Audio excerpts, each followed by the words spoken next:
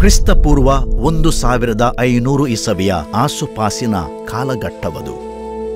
ಉತ್ತರ ಭಾರತದ ಹಿಮಾಲಯಗಳಲ್ಲಿ ಹುಟ್ಟಿ ಸಹಸ್ರಾರು ವರ್ಷಗಳಿಂದ ಹರಿಯುತ್ತಿದ್ದ ಸರಸ್ವತಿ ನದಿಯು ನಿಧಾನವಾಗಿ ಮರೆಯಾಗುತ್ತಿತ್ತು.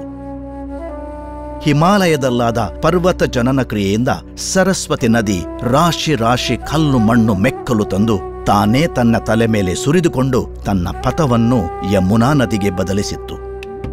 ಶತಶತಮಾನಗಳಿಂದ ಸರಸ್ವತಿ ನದಿಯ ದಂಡೆಗಳಲ್ಲಿ ನೆಲೆಸಿದ್ದ ಇಂಡೋ ಆರ್ಯನ್ ವಂಶದ ಆ ಶ್ರೇಷ್ಠ ವರ್ಗದ ಜನಾಂಗವು ಸರಸ್ವತಿ ನದಿ ಬರಡಾದ ಪರಿಣಾಮವಾಗಿ ಭಾರತದ ಇತರ ಭಾಗಗಳಿಗೆ ವಲಸೆ ಹೋಗಲು ಆರಂಭಿಸಿತ್ತು. ಹಾಗೆ ಅಲ್ಲಿಂದ ವಲಸೆ ಬಂದ ಕೆಲವರು ಗೋವಾ ಹಾಗೂ ಕೊಂಕಣ ಪ್ರದೇಶದಲ್ಲಿ ಬಂದು ನೆಲೆಸಿದರು. ಅವರೇ ನಮ್ಮ ಪೂರ್ವಿಕರು. ಸರಸ್ವತಿಯ ಮಕ್ಕಳವರು. ಇವರಲ್ಲೇ ಕೆಲವರು ಮುಂದಿನ ಶತಮಾನಗಳಲ್ಲಿ ಕರ್ನಾಟಕದ ಕರಾವಳಿಗೆ ಬಂದು ಇಲ್ಲಿ ನೆಲೆಯನ್ನು ಕಂಡುಕೊಂಡರು. ಹದಿನೆಂಟನೇ ಶತಮಾನದ ಕಾಲಘಟ್ಟವದು. ಆ ಕಾಲದ ಕೆನರಾ ಪ್ರದೇಶದಲ್ಲಿ ಕೊಂಕಣಿ ಕಥೋಲಿಕರು ದೊಡ್ಡ ಪ್ರಮಾಣದಲ್ಲಿದ್ದು ಇಲ್ಲಿನ ಅತ್ಯಂತ ಪ್ರಭಾವಿ ಶಕ್ತಿಯಾಗಿದ್ದರು. ಶತಮಾನಗಳ ಕಾಲದ ಹಿಂದಿನಿಂದಲೂ ಇಲ್ಲಿ ನೆಲೆಸಿದ್ದ ಇವರು ವಿದ್ಯಾವಂತರು, ಪರಿಶ್ರಮಿಗಳು, ಸ್ನೇಹಜೀವಿಗಳಷ್ಟೇ ಅಲ್ಲದೆ ಆರ್ಥಿಕವಾಗಿಯೂ ಸ್ಥಿತಿವಂತರಾಗಿ ಪ್ರಬಲ ಸಮುದಾಯವಾಗಿ ಮುಂಚೂಣಿಯಲ್ಲಿದ್ದರು. ಧಾರ್ಮಿಕವಾಗಿಯೂ ತುಂಬಾ ಭಯಭಕ್ತಿವಂತರಾಗಿದ್ದ ಇಲ್ಲಿನ ಕೊಂಕಣಿ ಕಥೋಲಿಕ ಸಮಾಜದವರು ಅಂದಿಗೆ ಇಲ್ಲಿ ಇಪ್ಪತ್ತ ಏಳು ಚರ್ಚ್ಗಳನ್ನು ನಿರ್ಮಾಣ ಮಾಡಿದ್ದರು. ಮಂಗಳೂರಿನ ರೊಸಾರಿಯೋ ಹಾಗೂ ಮಿಲಾಗ್ರಿಸ್ ಚರ್ಚ್ನ ಜೊತೆ ಹೊನ್ನಾವರ, ಕುಮ್ಟಾ, ಚಂದೋರ್, ಗುಲ್ಮೋನ ಸುಂಕೇರಿ ನಗರ್, ಬೈಂದೂರ್, ಗಂಗೊಳ್ಳಿ, ಬಸರೂರ್, ಕುಂದಾಪುರ, ಕಲ್ಯಾಣಪುರ, ಮುಲ್ಕಿ, ಕಿರೆಂ, ಪೆಜಾರ್, ಶಿರ್ವಾ, ಕಾರ್ಕಳ, ಉಮ್ಸೂರ್ ಬೋಳಾರ್ ಫರಂಗಿಪೇಟೆ ಉಳ್ಳಾಲ, ಬಂಟ್ವಾಳ, ಮೊಗರ್ನಾಡ್, ಆಗ್ರಾರ್, ಸುರಲ್ ಹಾಗೂ ಬಿದ್ರೆಂ ಚರ್ಚ್ಗಳು ಆ ಸಮಯದಲ್ಲಿ ಕೆನರಾದ ಭಕ್ತಿಯ ಕೇಂದ್ರಗಳಾಗಿದ್ದವು. ಒಂದು ಸಾವಿರದ ಏಳ್ನೂರ ಎಂಬತ್ತ ನಾಲ್ಕನೆಯ ಇಸವಿಯ ಕ್ರೈಸ್ತರ ತಪಸ್ಸು ಕಾಲದ ಸಮಯವದು. ಕೆನರಾ ಕಥೋಲಿಕರ ಇತಿಹಾಸದ ಕಠೋರ ಭಾಗ ಅಂದು ಆರಂಭವಾಗಲಿತ್ತು. ಅಂದು ಮೈಸೂರು ಸಂಸ್ಥಾನವನ್ನು ಆಳ್ತಾ ಇದ್ದ ದೊರೆಗಳು ಕೆನರಾದ ಎಲ್ಲಾ ಕಥೋಲಿಕರಿಗೆ ಶ್ರೀರಂಗಪಟ್ಟಣಕ್ಕೆ ಕರೆತರಲು ಹಾಗೂ ಇಲ್ಲಿರುವ ಎಲ್ಲಾ ಚರ್ಚ್ಗಳನ್ನು ತೆರವುಗೊಳಿಸಲು ತಮ್ಮ ಅಧಿಕಾರಿಗಳಿಗೆ ಸೂಚನೆ ನೀಡಿದ್ದ ಪರಿಣಾಮವಾಗಿ ನಲವತ್ತು ದಿನಗಳ ನಂತರ ಮುಗಿಯಬೇಕಿದ್ದ ತಪಸ್ಸು ಕಾಲವು ಇಲ್ಲಿನ ಜನರಿಗೆ ಸುಮಾರು ಹದಿನೈದು ವರ್ಷಗಳ ಕಾಲ ದೀರ್ಘವಾಗಿ ವಿಸ್ತರಿಸಿತು. ಅರುವತ್ತರಿಂದ ಎಂಬತ್ತು ಸಾವಿರದಷ್ಟು ಇಲ್ಲಿನ ಕಥೋಲಿಕರು ಶ್ರೀರಂಗಪಟ್ಟಣದತ್ತ ಹೆಜ್ಜೆ ಹಾಕುತ್ತಿರುವಾಗ ಗಂಟೆಗಳ ನಾದವಿಲ್ಲದೆ ತೆರವುಗೊಳಿಸಿದ ಅವರ ಇಪ್ಪತ್ತ ಆರು ಚರ್ಚ್ಗಳ ಪ್ರದೇಶಗಳು ಬಣಗುಟ್ಟುತ್ತಿದ್ದವು. ಸಾವಿರಾರು ಸಂಖ್ಯೆಯಲ್ಲಿನ ಇಲ್ಲಿನ ಜನರು ಶ್ರೀರಂಗಪಟ್ಟಣದ ದಾರಿಯಲ್ಲಿ ಸಾಗುವಾಗ ಹುತಾತ್ಮಗೊಂಡರೆ ಅವರ ಆಸ್ತಿಗಳೆಲ್ಲವೂ ಪರಕೀಯರ ಪಾಲಾದವು. ಆದರೆ ಅದೇ ಸಮಯದಲ್ಲಿ ಮಂಗಳೂರು ನಗರದ ಈಶಾನ್ಯ ಭಾಗದಿಂದ ಸುಮಾರು ಮೂವತ್ತೈದು ಕಿಲೋಮೀಟರ್ ದೂರದ ದಟ್ಟನೆಯ ಖಾನನದ ನಡುವಿನ ಕಣಿವೆ ಪ್ರದೇಶದಲ್ಲಿ ಶತಮಾನಗಳ ಕಾಲದಿಂದ ಇದ್ದ ಈ ಪುರಾತನ ಚರ್ಚ್ ಯಾವುದೇ ಆಕ್ರಮಣಕ್ಕೆ ಒಳಗಾಗದೆ ಹಾಗೂ ತನ್ನ ಒಂದೇ ಒಂದು ಇಟ್ಟಿಗೆ ಕೂಡ ಕದಲಿಸಲು ಅವಕಾಶ ನೀಡದೆ ತಾನಿದ್ದ ಪ್ರದೇಶದಲ್ಲೇ ದಿಟವಾಗಿ ನಿಂತಿತ್ತು.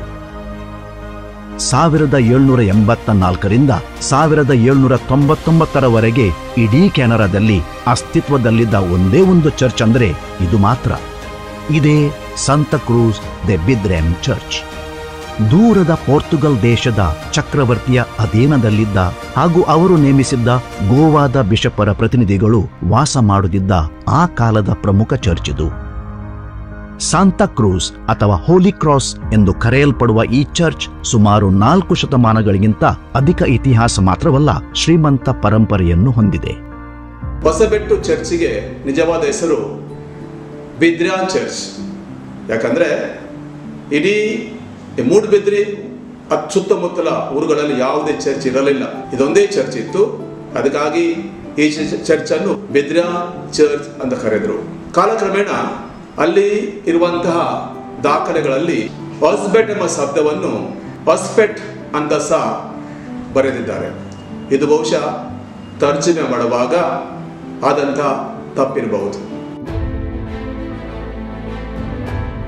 ಹೊಸ್ಬೆಟ್ನಲ್ಲಿ ಈ ಸಾಂತಾಕ್ರೂಸ್ ಚರ್ಚ್ ಯಾವಾಗ ಸ್ಥಾಪನೆ ಆಯಿತು ಅನ್ನುವ ಪ್ರಶ್ನೆಗೆ ಉತ್ತರ ಕಂಡುಕೊಳ್ಳಲು ಹೋದ ನಮಗೆ ಸಾವಿರದ ಆರುನೂರ ಎಂಬತ್ತ ಮೂರನೇ ಇಸವಿಯ ಡಿಸೆಂಬರ್ ಹನ್ನೊಂದನೇ ತಾರೀಕು ಮಹತ್ವದ ದಿನವಾಗಿದೆ.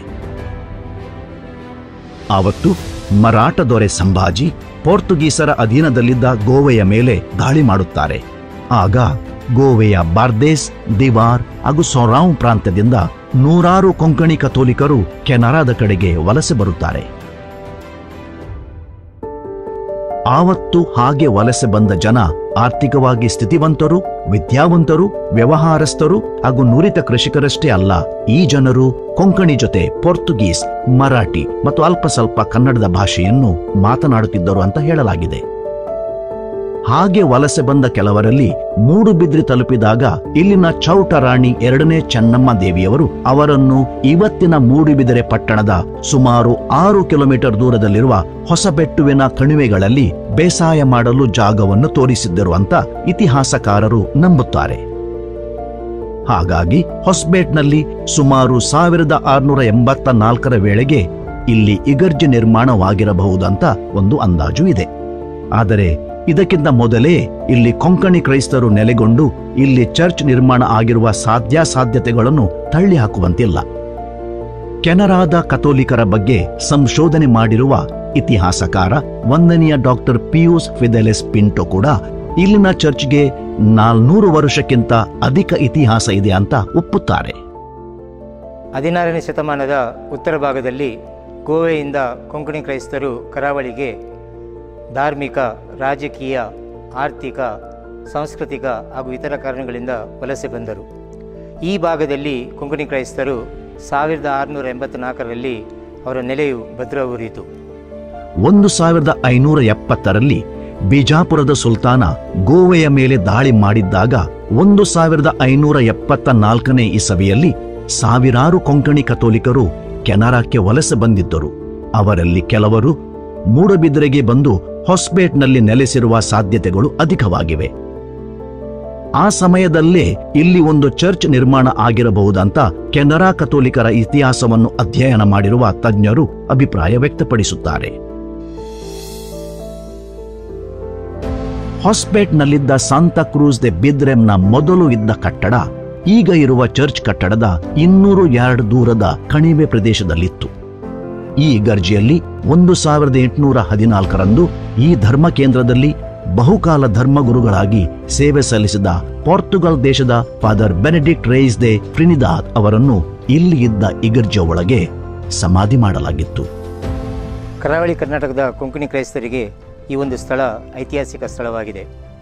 ಏಕೆಂದರೆ ಇಲ್ಲಿಯ, ಇಲ್ಲಿ ಈ ಸ್ಥಳದಲ್ಲಿ ಕ್ರೈಸ್ತರು ನಾಲ್ನೂರು ವರ್ಷಗಳ ತೆಗೂ ಮುಂಚೆ ನೆಲೆಸಿದ್ದರು ಅಂತಕ್ಕೆ ಪುರಾವೆ ಈ ಸ್ಥಳ ನಮಗೆ ಕೊಡ್ತಾ ಇದೆ.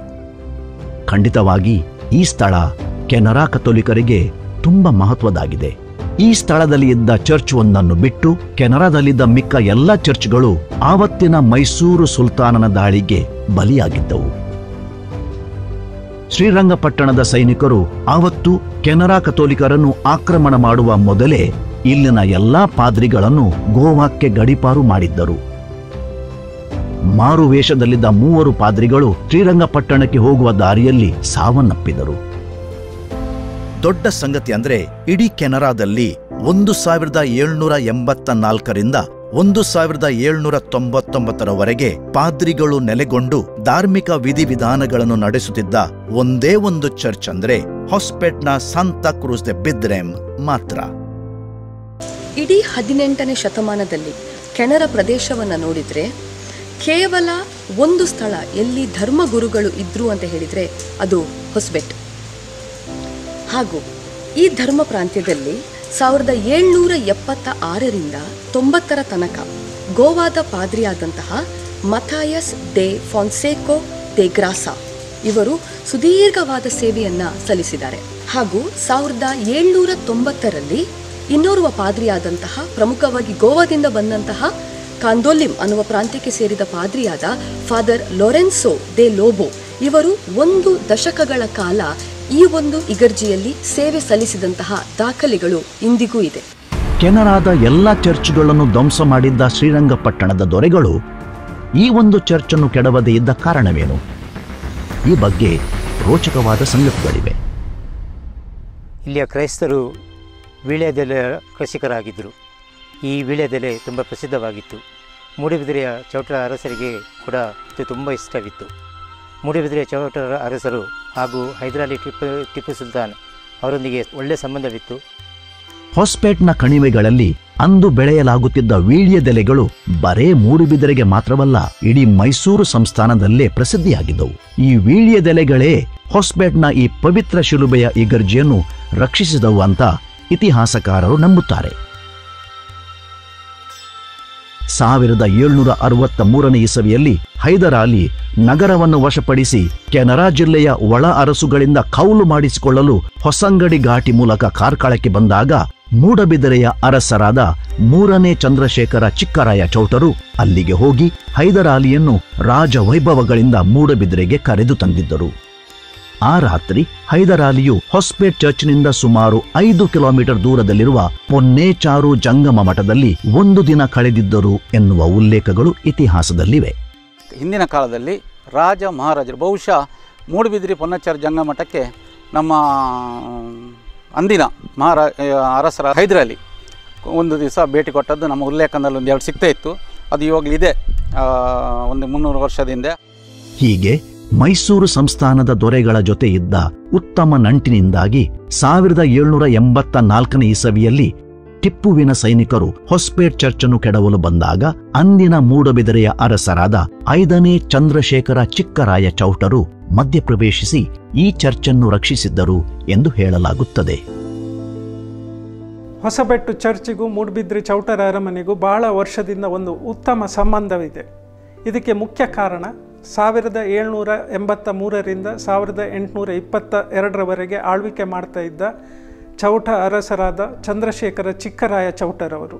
ಇವರು ಈ ಹೊಸಬೆಟ್ಟು ಚಾರ್ಚ್ ಚರ್ಚನ್ನು ರಕ್ಷಿಸಿರುತ್ತಾರೆ. ಈ ಒಂದು ಉಪಕಾರ ಸ್ಮರಣೆಯನ್ನು ಚರ್ಚಿನವರು ಇಂದಿಗೂ ನೆನಪಿಸಿಕೊಂಡು ನಮ್ಮ ಚೌಟರ ಅರಮನೆಗೂ ಹೊಸಬೆಟ್ಟಿಗೂ ಚರ್ಚಿಗೂ ಉತ್ತಮ ಒಂದು ಸಂಬಂಧವನ್ನು ಇಟ್ಟುಕೊಂಡು ಬಂದಿದ್ದಾರೆ. ಶ್ರೀರಂಗಪಟ್ಟಣದ ಸೈನಿಕರೇನೂ ಈ ಹೊಸ್ಪೆಟ್ ಚರ್ಚನ್ನು ಕೆಡವಲಿಲ್ಲ. ಆದರೆ ಈ ಧರ್ಮ ಕೇಂದ್ರದ ಹಲವರನ್ನು ಬಂಧಿಸಿ ಶ್ರೀರಂಗಪಟ್ಟಣಕ್ಕೆ ಕೊಂಡೊಯ್ದ ಬಗ್ಗೆ ದಾಖಲೆಗಳಿವೆ. ಇವರಲ್ಲಿ ಪ್ರಮುಖ ಹೆಸರು ಅಂದರೆ ಆ ಕಾಲದ ಹೊಸ್ಪೇಟ್ನ ಮಿರೋನ್ ಅಥವಾ ಸ್ಯಾಕ್ರಿಸ್ಟನ್. ಶ್ರೀರಂಗಪಟ್ಟಣದ ಕೋಟೆಯಲ್ಲಿ ನಮ್ಮ ಪೂರ್ವಿಕರು ಕ್ರೈಸ್ತ ಧರ್ಮದಿಂದ ವಿಮುಖರಾಗುವ ಕಠಿಣ ಪರಿಸ್ಥಿತಿ ಬಂದರೂ ರಹಸ್ಯವಾಗಿ ಈ ಜನಗಳಲ್ಲಿ ಪ್ರಭು ಯೇಸು ಕ್ರಿಸ್ತರ ಬಗ್ಗೆ ವಿಶ್ವಾಸವನ್ನು ಜೀವಂತವಾಗಿ ಇರಿಸಲು ಹಾಗೂ ಅವರ ಧರ್ಮಶ್ರದ್ಧೆಯನ್ನು ಜಾಗೃತಿಗೊಳಿಸಲು ಹೊಸ್ಪೇಟ್ನ ಮಿರೋನ್ ರವರು ಶ್ರಮಿಸಿದರು ಅಂತ ದಾಖಲೆಗಳು ಹೇಳುತ್ತವೆ. ಪಾದ್ರಿಗಳು ಇಲ್ಲದ ಸಂದರ್ಭದಲ್ಲಿ ಶ್ರೀರಂಗಪಟ್ಟಣದಲ್ಲಿ ಜನಿಸಿದ ಹೊಸ ಶಿಶುಗಳಿಗೆ ಮಿರೋನ್ ರವರು ಗುಟ್ಟಾಗಿ ಜ್ಞಾನಸ್ನಾನ ನೀಡುತ್ತಿದ್ದರು ಅಂತ ಇತಿಹಾಸದಲ್ಲಿ ದಾಖಲಾಗಿದೆ. ಇಂಗ್ಲಿಷರು ಹಾಗೂ ಅವರ ಮಿತ್ರ ಪಡೆಗಳೊಡನೆ ಸಾವಿರದ ಏಳ್ನೂರ ತೊಂಬತ್ತೆರಡನೇ ಇಸವಿಯಲ್ಲಿ ನಡೆದ ಮೂರನೇ ಆಂಗ್ಲೋ ಮೈಸೂರು ಯುದ್ಧದಲ್ಲಿ ಟಿಪ್ಪುವಿಗೆ ಭಾರೀ ಹಿನ್ನಡೆಯಾಯಿತು. ಫೆಬ್ರವರಿ ಆರು, ಒಂದು ಸಾವಿರದ ಏಳ್ನೂರ ತೊಂಬತ್ತೆರಡರಲ್ಲಿ ಬ್ರಿಟಿಷರ ಸೇನೆಯು ಶ್ರೀರಂಗಪಟ್ಟಣಕ್ಕೆ ಮುತ್ತಿಗೆ ಹಾಕಿದ್ದಾಗ ಟಿಪ್ಪುವಿನ ಗುಲಾಮ ಸೇನಾ ತುಕಡಿಯ ಸುಮಾರು ಏಳ್ನೂರು ಜನರು ಕೂರುಗ್ ಅಥವಾ ನಾವು ಕೊಡಗು ಅನ್ನುವ ಪ್ರದೇಶದಲ್ಲಿ ತಲೆಮರೆಸಿಕೊಂಡಿತ್ತು. ಅವರೆಲ್ಲರೂ ಒಂದು ಸಾವಿರದ ಏಳ್ನೂರ ಎಂಬತ್ನಾಲ್ಕು ಇಸವಿಯಲ್ಲಿ ಬಂಧಿತರಾಗಿದ್ದ ಕೆನರಾ ಕಥೋಲಿಕರಾಗಿದ್ದರು. ಕ್ರೈಸ್ತ ಧರ್ಮದಿಂದ ವಿಮುಖರಾಗಿ ಸುನ್ನತೀಕರಣಗೊಂಡ ತರಬೇತು ಸೈನಿಕರಾಗಿದ್ದ ಅವರಲ್ಲಿ ಬಹುತೇಕರು ಈ ಬಿದ್ರೆಮ್ ಅಥವಾ ಹೊಸ್ಪೇಟ್ ಧರ್ಮಕೇಂದ್ರಕ್ಕೆ ಸೇರಿದ್ದ ಪ್ರಜೆಗಳಾಗಿದ್ದರು. ಅಂದಿನ ಕೊಡಗಿನ ರಾಜ ದೊಡ್ಡ ವೀರ ರಾಜೇಂದ್ರ ಕೂಡ ಕೆಲವು ಸಮಯ ಇವರ ಜೊತೆ ಸೆರೆಮನೆಯಲ್ಲಿದ್ದರು. ಹಾಗೆ ತಪ್ಪಿಸಿಕೊಂಡು ಬಂದ ಈ ಜನರಿಗೆ ಹಾಗೂ ಅವರ ಕುಟುಂಬದವರಿಗೆ ದೊಡ್ಡ ವೀರರಾಜೇಂದ್ರ ದೊರೆಗಳು ಕೊಡಗಿನಲ್ಲಿ ವೀರರಾಜೇಂದ್ರ ಪೇಟೆ ಅನ್ನುವ ಹೊಸ ಪಟ್ಟಣವನ್ನು ನಿರ್ಮಿಸಿ ಜಾಗವನ್ನು ಹಾಗೂ ಅಂಗಡಿಗಳನ್ನು ನೀಡಿದ್ದರು. ಅಲ್ಲಿಯೇ ಅವರು ಕೊಟ್ಟ ಜಾಗದಲ್ಲಿ ಸಂತ ಅನ್ನರವರ ಚರ್ಚ್ ಒಂದನ್ನು ನಿರ್ಮಿಸಿದ ಇಲ್ಲಿನ ಜನರಿಗೆ ಗೋವಾದ ಪದಜುವಾವದ ಕಾಸ್ಟ ಅನ್ನುವವರು ಆಧ್ಯಾತ್ಮಿಕ ಗುರುಗಳಾಗಿದ್ದರು.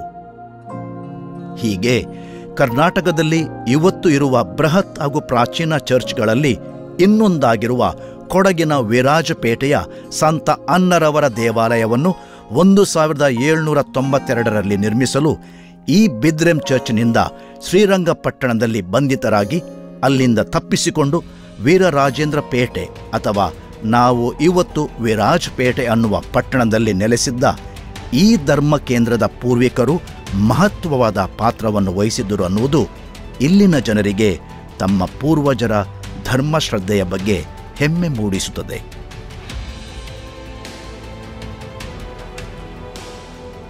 ತಮ್ಮ ಸ್ಲೇವ್ಸ್ ಆಫ್ ಸುಲ್ತಾನ್ಸ್ ಅನ್ನುವ ಪುಸ್ತಕದಲ್ಲಿ ಇದನ್ನು ಖ್ಯಾತ ಇತಿಹಾಸಕಾರ ಆಲನ್ ಮಚಾದು ಪ್ರಭುರವರು ಇದರ ಬಗ್ಗೆ ಸವಿಸ್ತಾರವಾಗಿ ಬರೆದಿದ್ದಾರೆ.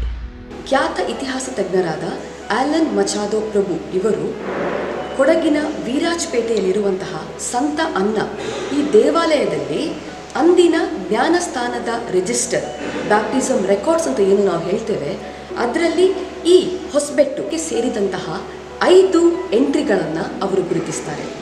ಅದು ಯಾವುದು ಅಂತ ಹೇಳಿದರೆ ಸರಿಸುಮಾರು ಸಾವಿರದ ಏಳ್ನೂರ ತೊಂಬತ್ತ ಮೂರರ ಸಮಯದಲ್ಲಿ ವೀರಾಜ್ಪೇಟೆಯಲ್ಲಿ ಪ್ರಥಮ ಬಾರಿಗೆ ಅನ್ನ ಅನ್ನುವ ಹುಡುಗಿಯ ಜ್ಞಾನಸ್ಥಾನವನ್ನು ಮಾಡಲಾಗ್ತದೆ.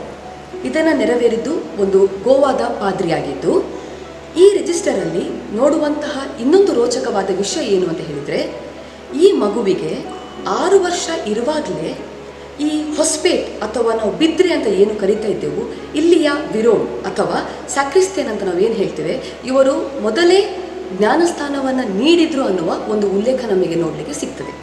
ಅದೇ ಥರ ಸಾವಿರದ ಎಂಟುನೂರಕ್ಕೆ ಬರಬೇಕಾದ್ರೆ ಮರಿಯಾ ಹಾಗೂ ಇಸಬೆಲ್ ಅನ್ನುವಂತಹ ಎರಡು ಅಕ್ಕ ತಂಗಿಯರಿಗೆ ಇದೇ ವಿರೋಣ್ರವರು ಧ್ಯಾನಸ್ಥಾನವನ್ನು ಶ್ರೀರಂಗಪಟ್ಟಣದಲ್ಲಿ ಕೊಟ್ಟಿರ್ತಾರೆ. ಹಾಗೂ ನಂತರ ಸಾವಿರದ ಎಂಟುನೂರ ನಾಲ್ಕಕ್ಕೆ ಬರಬೇಕಾದ್ರೆ ಅಂಟೋನಿಯೋ ಅನ್ನುವ ಒಂದು ಹುಡುಗನಿಗೆ ಧ್ಯಾನಸ್ಥಾನ ನೀಡಿದ್ದು, ಈ ಹುಡುಗನ ಪೋಷಕರು, ತಂದೆ ತಾಯಿ, ಈ ಬಿದ್ರೆ ಅಥವಾ ಹೊಸಪೇಟೆಗೆ ಸೇರಿದ್ರು ಅನ್ನುವಂತಹ ಒಂದು ಘಟನೆಯು ಆ ರಿಜಿಸ್ಟರಲ್ಲಿ ರೆಕಾರ್ಡ್ ಆಗಿದೆ.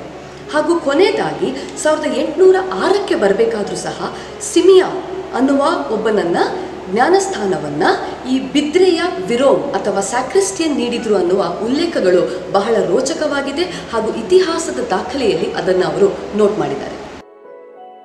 ಒಂದು ಸಾವಿರದ ಏಳ್ನೂರ ತೊಂಬತ್ತೊಂಬತ್ತರ ಟಿಪ್ಪುವಿನ ಮರಣದ ನಂತರ ಶ್ರೀರಂಗಪಟ್ಟಣದ ಬಂಧನದಿಂದ ಬದುಕುಳಿದ ಕೆಲವು ಜನರು ಇಲ್ಲಿಗೆ ವಾಪಸ್ಸಾಗಿದ್ದರು. ಒಂದು ಸಾವಿರದ ಎಂಟುನೂರ ಇಪ್ಪತ್ತರ ಸಮಯದಲ್ಲಿ ಬ್ರಿಟಿಷ್ ಆಳ್ವಿಕೆಯಲ್ಲಿ ಹೊಸ ಬದುಕು ರೂಪಿಸುತ್ತಿದ್ದ ಸಮಯದಲ್ಲಿ ಹೊಸ್ಪೆಟ್ನ ಕಥೋಲಿಕ್ ಜನಸಂಖ್ಯೆ ಒಂದು ಸಾವಿರದ ಎಪ್ಪತ್ತೆಂಟರಷ್ಟು ಇತ್ತು ಅಂತ ದಾಖಲೆಗಳು ಹೇಳ್ತವೆ. ಇದೇ ಕಾಲದಲ್ಲಿ ಈ ಕಣಿವೆ ಪ್ರದೇಶದಿಂದ ಇಲ್ಲಿನ ಇಗರ್ಜಿಯನ್ನು ಇನ್ನೂರು ಯಾರ್ಡ್ ದೂರದಲ್ಲಿರುವ ಎತ್ತರದ ಪ್ರದೇಶಕ್ಕೆ ಸ್ಥಳಾಂತರ ಮಾಡಲಾಗಿತ್ತು.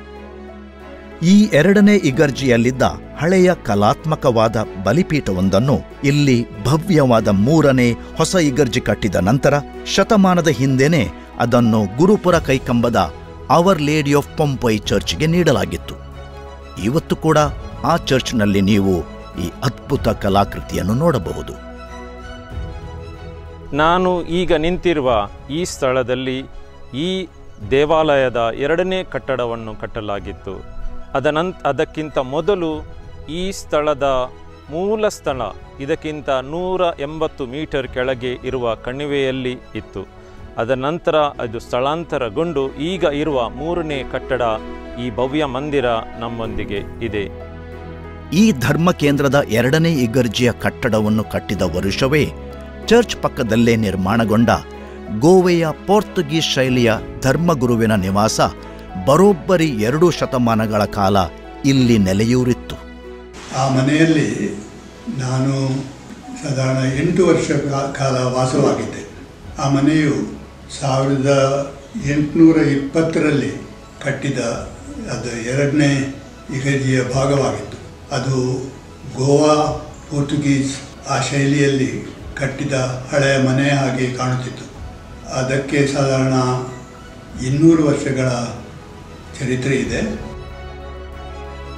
ಎರಡು ಸಾವಿರದ ಹದಿನೇಳನೇ ಇಸವಿಯಲ್ಲಿ ಈ ಕಟ್ಟಡವನ್ನು ಕೆಡವಿ ಹೊಸತೊಂದು ಕಟ್ಟಡವನ್ನು ಆ ಜಾಗದಲ್ಲಿ ಕಟ್ಟಲಾಗಿದೆ.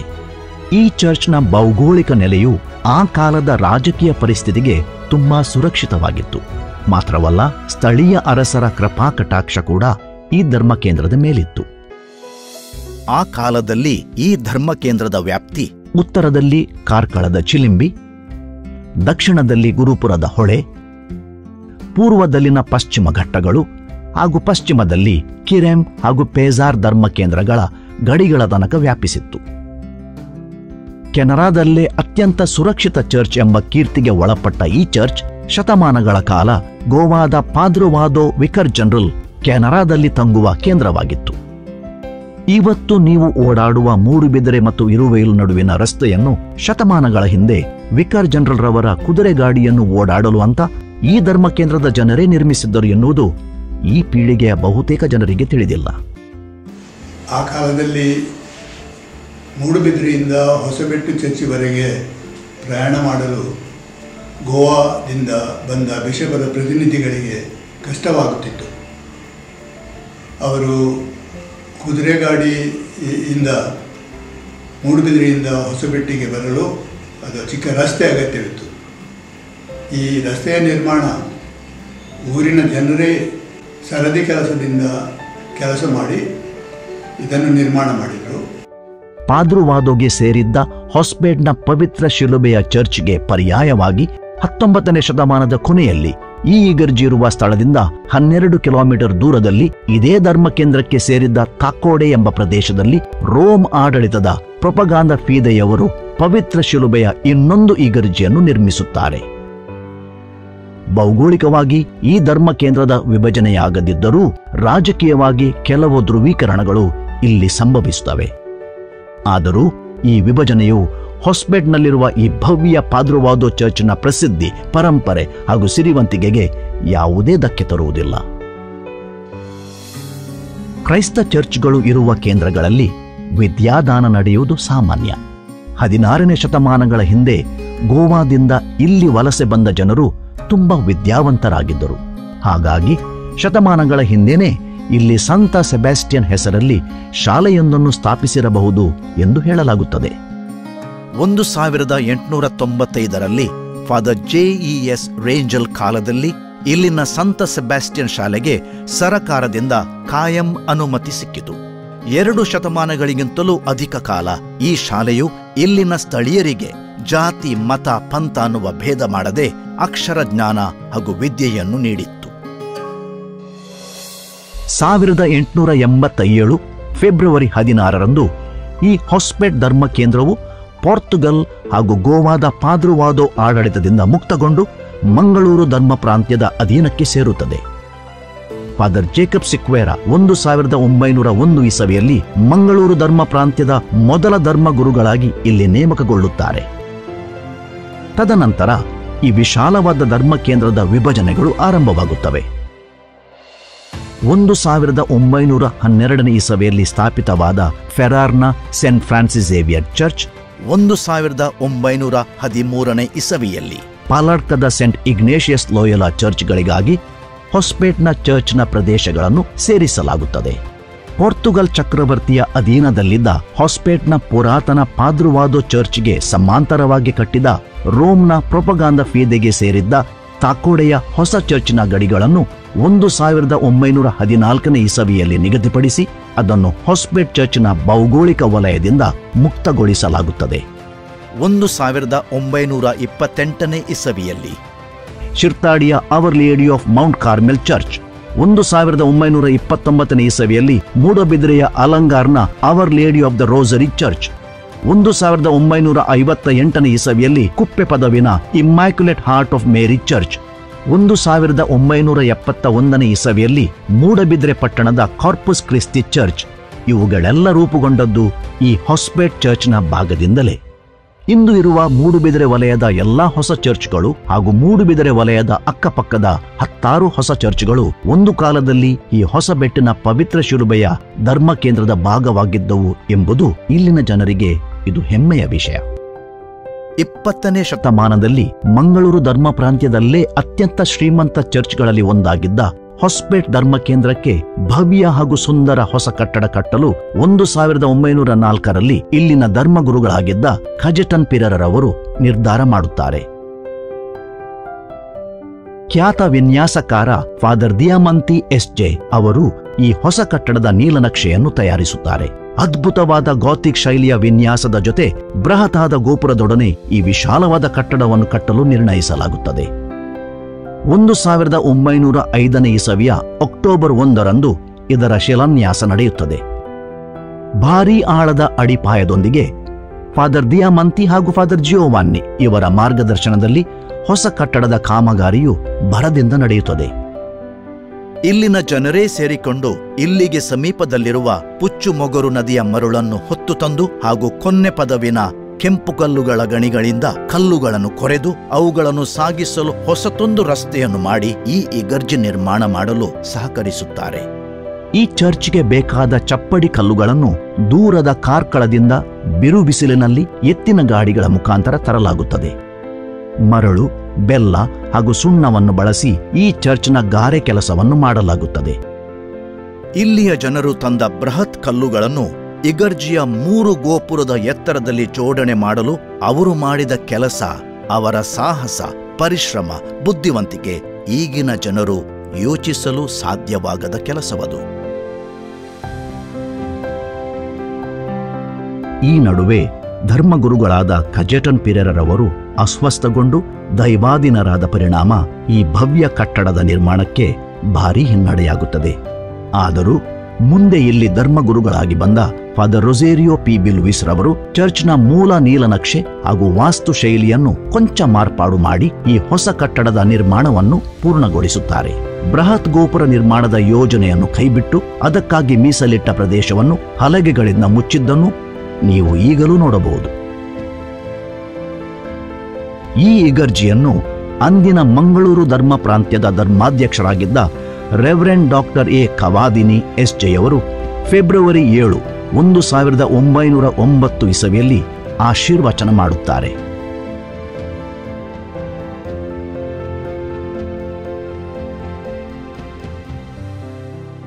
ಮೂಲ ವಿನ್ಯಾಸದ ಪ್ರಕಾರ ನಿರ್ಮಾಣಗೊಳ್ಳದಿದ್ದರೂ ಈ ಕಟ್ಟಡ ಕರ್ನಾಟಕದ ಬೃಹತ್ ಚರ್ಚ್ಗಳಲ್ಲಿ ಒಂದು. ಮೂರು ದಿಕ್ಕುಗಳಲ್ಲಿ ಬೃಹತ್ ಗೋಪುರಗಳನ್ನು ಹೊಂದಿರುವ ಈ ಚರ್ಚ್ ಆಕರ್ಷಣೀಯ ಗಾಥಿಕ್ ಹಾಗೂ ರೋಮನ್ ಶೈಲಿಯಲ್ಲಿ ನಿರ್ಮಾಣಗೊಂಡಿದೆ.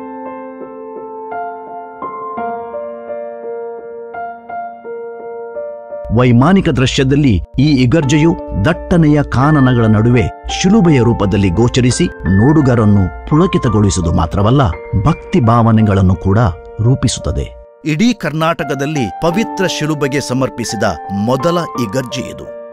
ಇಗರ್ಜಿಯ ಬಲಿಪೀಠದಲ್ಲಿ ನೆಡಲಾಗಿರುವ ಎತ್ತರದ ಶಿಲುಬೆಯಲ್ಲಿರುವ ಪ್ರಭು ಯೇಸುಕ್ರಿಸ್ತರ ಮೂರ್ತಿ ಹಾಗೂ ಅದರ ಪಕ್ಕದಲ್ಲಿರುವ ಮೇರಿ ಮಾತೆ ಮತ್ತು ಸಂತ ಯೋಹಾನರವರ ವಿಗ್ರಹಗಳು ಎರಡು ಸಾವಿರ ವರ್ಷಗಳ ಹಿಂದೆ ಕಲ್ವಾರಿ ಬೆಟ್ಟದಲ್ಲಿ ನಮಗಾಗಿ ಪ್ರಾಣತೆತ್ತ ಪ್ರಭು ಯೇಸುಕ್ರಿಸ್ತರ ಅಂತಿಮ ಕ್ಷಣಗಳನ್ನು ನೆನಪಿಸುತ್ತವೆ. ಈ ಬಲಿಪೀಠದ ಸುತ್ತಲೂ ಹಾಗೂ ಮೇಲ್ಭಾಗದಲ್ಲಿ ಮರದಿಂದ ಕೆತ್ತಲ್ಪಟ್ಟ ವಿಶಿಷ್ಟ ವಿನ್ಯಾಸದ ಕಲಾಕೃತಿಗಳು ನೋಡುಗರ ಮನಸ್ಸನ್ನು ಸೂರೆಗೊಳ್ಳುತ್ತವೆ.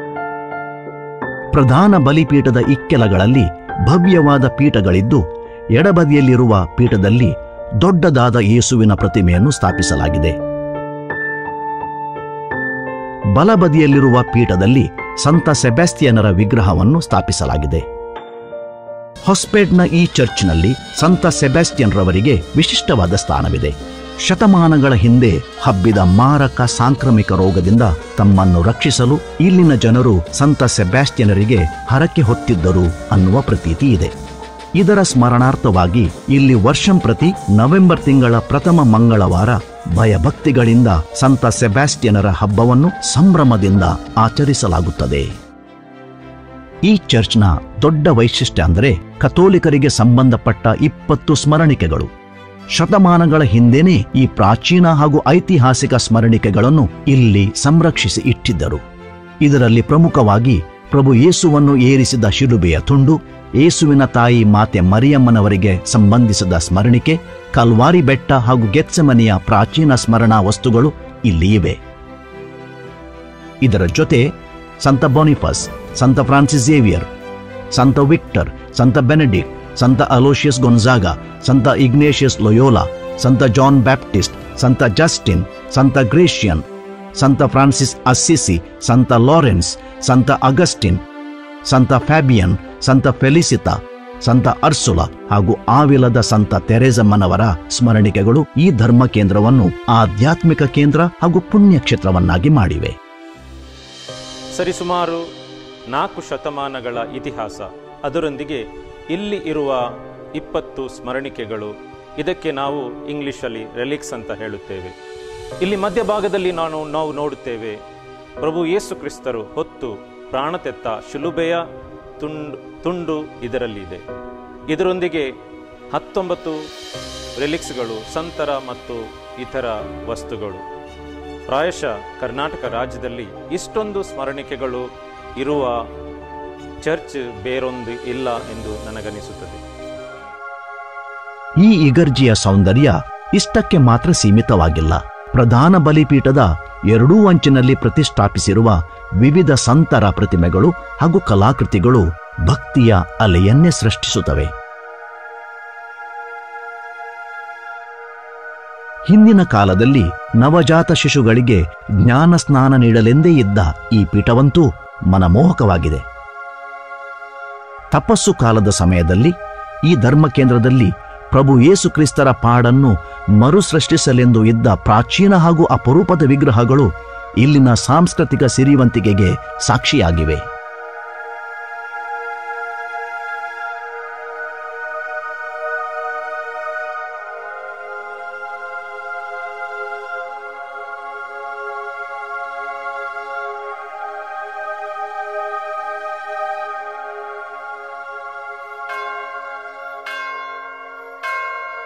ಹೊಸಬೆಟ್ಟು ಚರ್ಚಿನ ಮತ್ತೊಂದು ವೈಶಿಷ್ಟ್ಯವೆಂದರೆ ಶತಮಾನಗಳ ಹಿಂದೆ ಯುರೋಪಿನಿಂದ ತಂದು ಅಳವಡಿಸಿದ ಮೂರು ಬೃಹತ್ ಗಂಟೆಗಳು.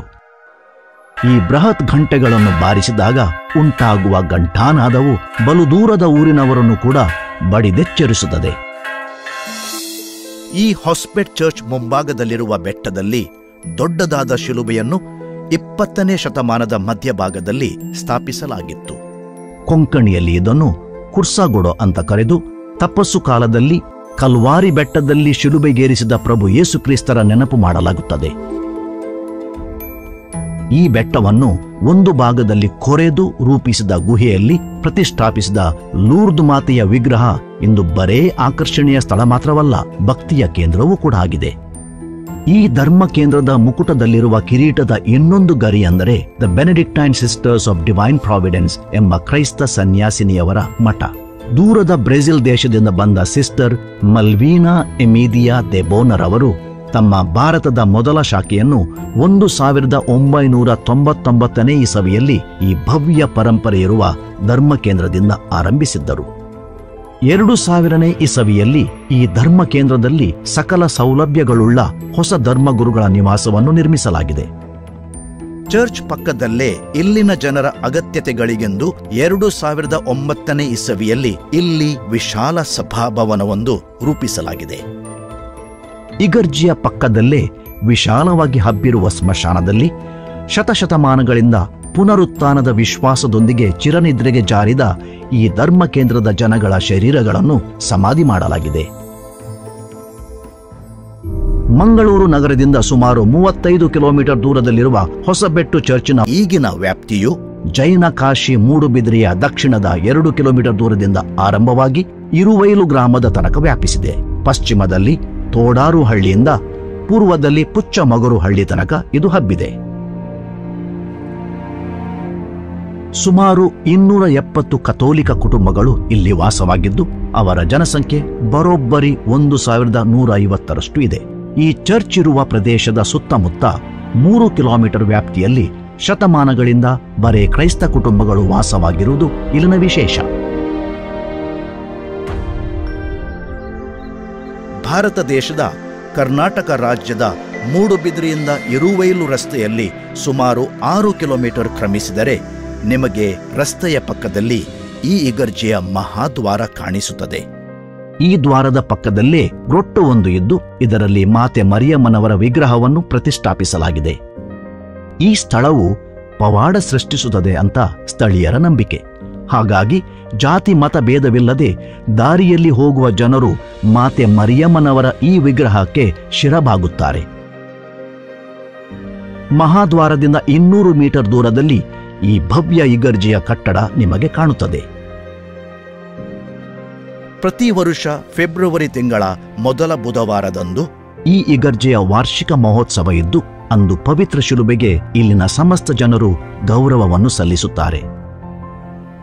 ದೂರದ ಊರುಗಳಿಂದ ನೂರಾರು ಜನರು ಈ ಸಂಭ್ರಮದಲ್ಲಿ ಭಾಗಿಯಾಗುತ್ತಾರೆ. ಅದೂ ಅಲ್ಲದೆ ವರ್ಷದ ಪ್ರತಿದಿನ ದೂರದ ಪ್ರದೇಶಗಳಿಂದ ಪವಾಡಗಳನ್ನು ನಿರೀಕ್ಷಿಸಿ ಪ್ರಭು ಯೇಸುಕ್ರಿಸ್ತರು ಹೊತ್ತು ಏರಿದ ಶಿಲುಬೆಯ ತುಂಡು ಹಾಗೂ ಪ್ರಾಚೀನ ಸ್ಮರಣಿಕೆಗಳನ್ನು ನೋಡಲು ಹಾಗೂ ಪ್ರಾರ್ಥನೆ ಸಲ್ಲಿಸಲು ಜನರು ಇಲ್ಲಿ ನಿರಂತರ ಬರುತ್ತಾರೆ. ಸಹಸ್ರಾರು ವರ್ಷಗಳ ಮೊದಲು ಸರಸ್ವತಿ ನದಿ ತೀರದ ತಟದಿಂದ ಗೋವಕ್ಕೆ ವಲಸೆ ಬಂದು ಅಲ್ಲಿಂದ ಸುಮಾರು ಹದಿನಾರನೇ ಶತಮಾನದಲ್ಲಿ ಕೆನರಕ್ಕೆ ತಲುಪಿ. ಹದಿನೆಂಟನೇ ಶತಮಾನದಲ್ಲಿ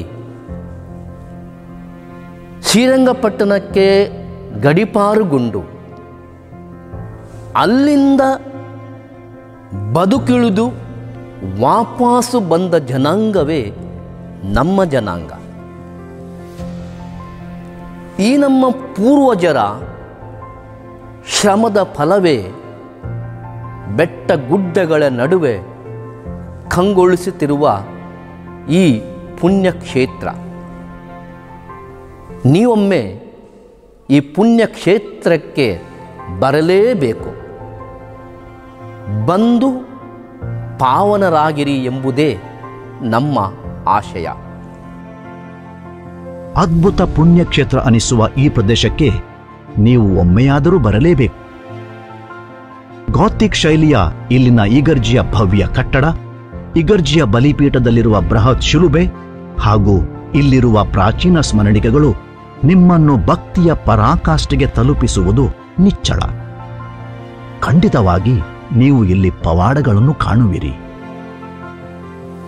ದಕ್ಷಿಣ ಕನ್ನಡ ಜಿಲ್ಲೆಯ ಮೂಡುಬಿದ್ರೆಯಿಂದ ಈ ಧರ್ಮಕ್ಷೇತ್ರವು ಕೇವಲ ಆರು ಕಿಲೋಮೀಟರ್ ಅಂತರದಲ್ಲಿದೆ. ಈ ಧರ್ಮ ವಲಯದಲ್ಲಿ ಇಪ್ಪತ್ತು ಮತ್ತು ಇಪ್ಪತ್ತೊಂದನೇ ಶತಮಾನದಲ್ಲಿ ಆರಂಭವಾದ ಎಲ್ಲ ಧರ್ಮ ಕೇಂದ್ರಗಳಿಗೆ, ಇಗರ್ಜಿಗಳಿಗೆ ಈ ಹೊಸಬೆಟ್ಟು ಇಗರ್ಜಿ ಮಹಾಮಾತೆಯಾಗಿದೆ. ಈ ಧರ್ಮಕ್ಷೇತ್ರದಲ್ಲಿ ಯೇಸು ಕ್ರಿಸ್ತರ ಶುಲುಬೆಯ ತುಂಡಿನ ಸ್ಮರಣಿಕೆ ಇರುವುದು ಈ ಸ್ಥಳದ ಪುಣ್ಯವಾಗಿದೆ. ಹಾಗೂ ನಾಲ್ಕು ಶತಮಾನಗಳ ಪರಂಪರೆ ಈ ಕ್ಷೇತ್ರವನ್ನು ಒಂದು ಪುಣ್ಯ ಕ್ಷೇತ್ರವನ್ನಾಗಿ ಮಾಡಿದೆ. ಇಲ್ಲಿ ಬಂದು ಪ್ರಾರ್ಥನೆ ಮಾಡಿದ ಪ್ರತಿಯೋರ್ವರಿಗೆ ಯೇಸು ಕ್ರಿಸ್ತರು ಹರಸುತ್ತಾರೆ. ದೇವರ ಆಶೀರ್ವಾದ ಅವರ ಮೇಲೆ ಸದಾ ಇರುತ್ತದೆ. ತಾವೆಲ್ಲರೂ ಈ ಪುಣ್ಯಕ್ಷೇತ್ರ ಕ್ಷೇತ್ರಕ್ಕೆ ಬನ್ನಿ, ಪಾವನರಾಗಿ.